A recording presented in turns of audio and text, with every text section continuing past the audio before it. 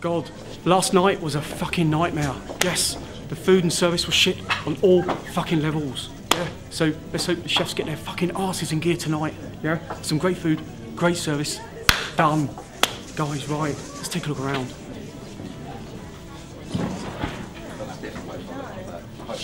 Right, guys, how's the food? Mine looks really dry and overcooked. Dry. Yeah, mine's really pink. Pink, I don't believe it. My rice is Jesus. Dry, it's disgusting. God. Right, guys, I really apologise. Do you know, can I have a little nibble of that? Sure, Good. knock Here we go, well, look at that. It's fucking dry, cremated. Shit. Oh, God.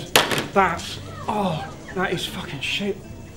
Jesus. Right, I really apologise. Sam, get all this fucking food back to the kitchen, yes? And get these guys a nice round of drinks on the house, yeah? That is diabolical. God.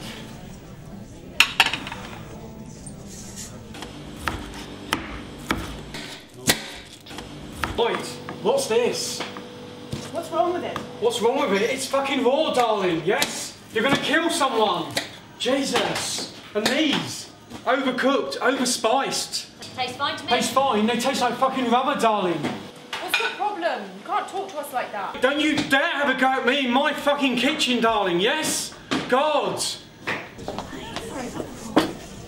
Jesus, you wanna learn how to cook fucking chicken? Yeah? Stop acting like a bunch of fucking hormonal bitches.